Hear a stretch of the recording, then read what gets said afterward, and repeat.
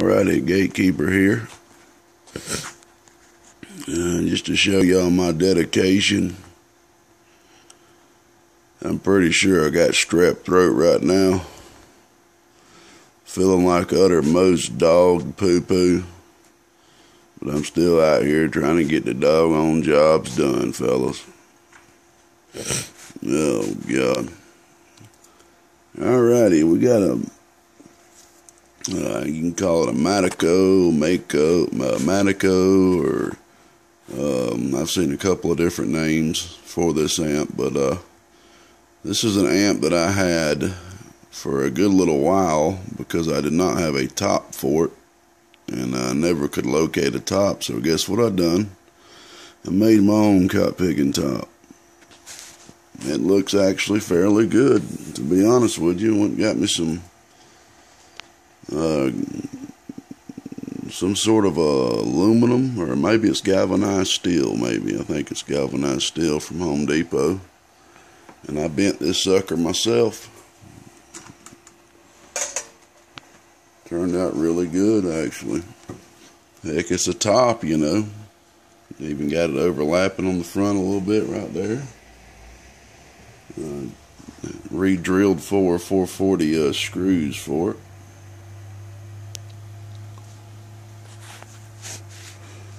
Alrighty. Um, I got quite a few of these I've repaired. I can't quite remember what's in this one. I think it's some SRF. Uh, we'll pop the top off of it here after we do an output test and kind of just go through everything that was done. I do know right off the rip the uh, high-low medium switch was bad. I had to actually order one for this. I didn't have any laying around. So this right here is a new switch. Um, the middle, the middle is low. Up is medium. Down is high. I could write that on there with a marker. I just don't want to mess it up. I ain't the neatest writer in the world. And I would like to say uh, the way this amp right here is designed, I got one side of it screwed off so I could just uns unscrew this side so I won't have to turn the amp over and everything sitting on the bench here. Just want to let you know that's the only reason why that's doing that. I already took the screws out of it.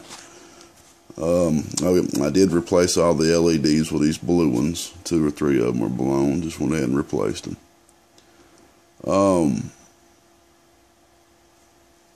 this box is only to be made ran on high with a low watt radio. Okay, I'm gonna let you know that. That's the way a lot of these older amps are actually designed. But uh, what I done is I done a little bit of extra work so you can run a higher wattage radio in it on low and medium. But if you put this thing on high with the radio I'm running now, you'll see it's to pull over 15 amps and it's to swing backwards on the amperage meter be honest with you, putting this in high position would be perfect for like a 5 watt radio, 6 watt radio, something like that. So there's really no reason to put it in high, which, you know, I still will to show you the output of it. Uh, this this bad boy runs beautiful on medium and low, just letting you know. Then run it on high. If you ever got a smaller radio you want to run with it. Alrighty, as usual, let's show you what we're going to be putting into it.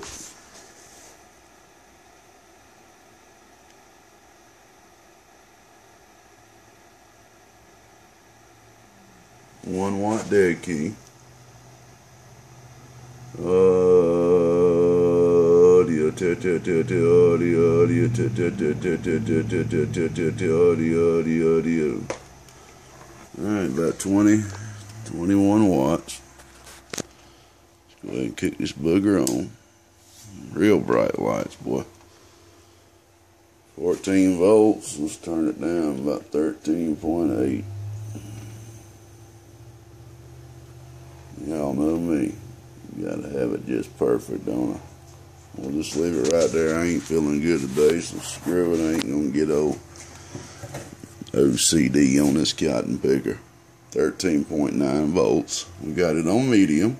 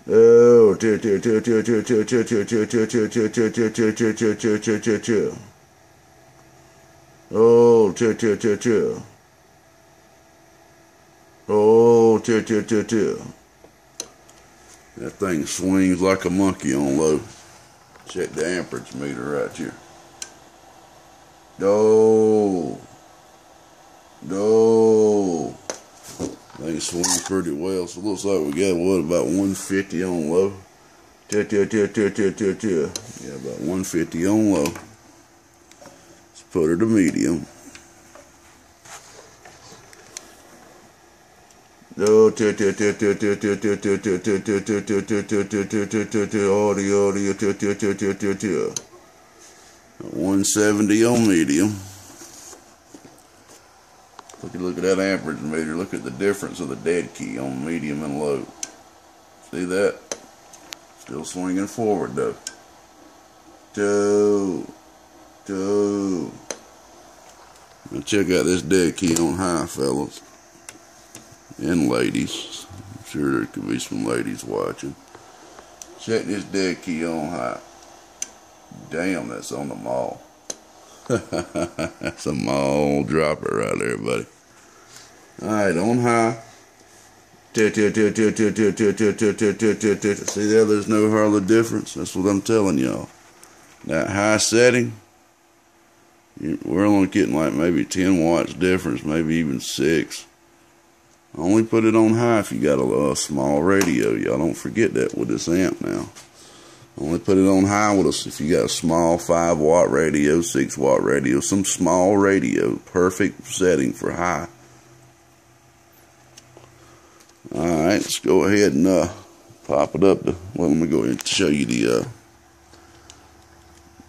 the uh, reflect. 10 watt slug.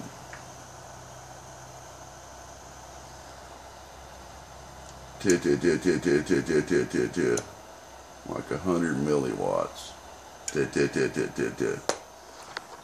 Reflect looks wonderful.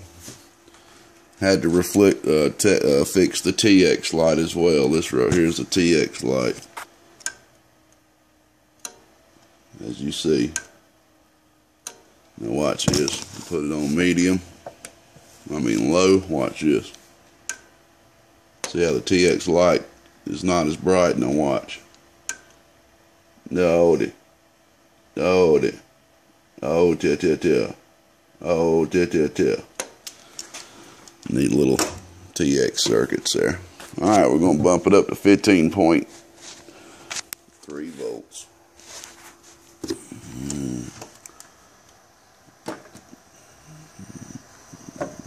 Let's put her on medium here.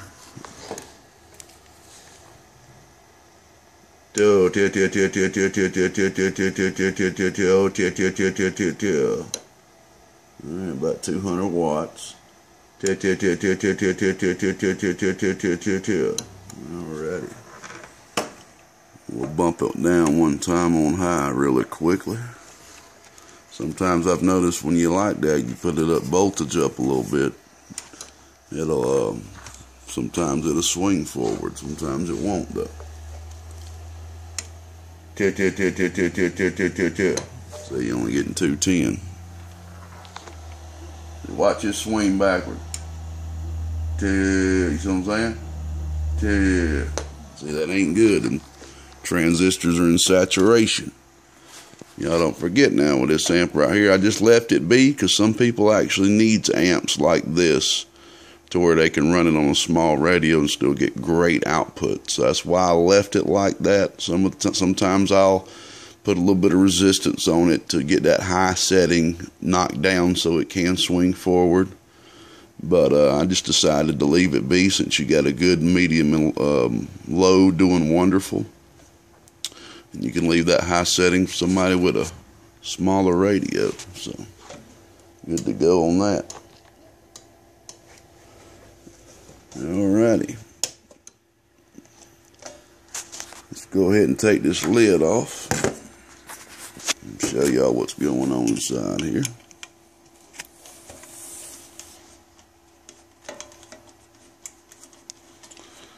I can't remember if I put new transistors in this or not. I don't think I did. We'll be able to tell though here in just a moment. I do know this had no transistors in it because I had actually took them out about two three years ago and built a little two banger out of them. There were two 1446s in her. So I remember I took them out. All right, let's take the cover off this piece here. I'm gonna turn this power off. Okay, yeah, they're, yeah, they're not new transistors. Got uh, two SRF 2072s. They are used, but they're in good, perfect working condition. As you can see, I reworked the whole entire high-low medium circuit through some big hefty 5 watt resistors on here, as you can see. We got a 10 ohms in line at all times. That's on the high setting. So like I said, if I wanted to, I could have made these right here a little smaller. Do a bigger one right here to have that high setting um, not being overmodulated with a 20 watt drive. But like I said, I thought it'd be a good idea to leave it be. We changed the uh, transistor for the preamp there. Um, had to rework the TX circuit. Change that right there for the TX circuit. And uh, put a new cap right here for it. Um, I put it, um, I retuned the input and the out. That's why you see two uh, caps on here. Threw a trimmer on there, tuned it out. Had to use two caps to get get the value just right. Same for the output tune right here. Okay, threw a new 1001 kilovolt um, silver dip mic on the output here. Okay, that's the original 330 right there. Replaced all the, uh, the, the LEDs. Um, mm, man, my throat's hurting, y'all. Um, oh yeah. I had one of these inductors on the input transformer. I had one blown over here. I'm finding this a lot on these amps. This one right here was blown. So what I done, since I didn't have another one laying around, I took it off of here, moved it over to here since it was the same one, and I put a choke on the input here. So that worked out fine. So there you go. It's a nice, good working amp. They only called about a 100 watt amp. As you see that 100 there, and it's hitting 200 watts on 15 volts. So I say it's working fairly good. Got a, a antenna, tr a transmit sticker we put on there for you. And there she be. Y'all enjoy another gatekeeper repair. Just another uh, piece of equipment to keep this hobby a rolling. Gatekeeper said it. Feeling like pure dog doo doo over here in the south today, but hey man, we keeping it rolling. We good and gone.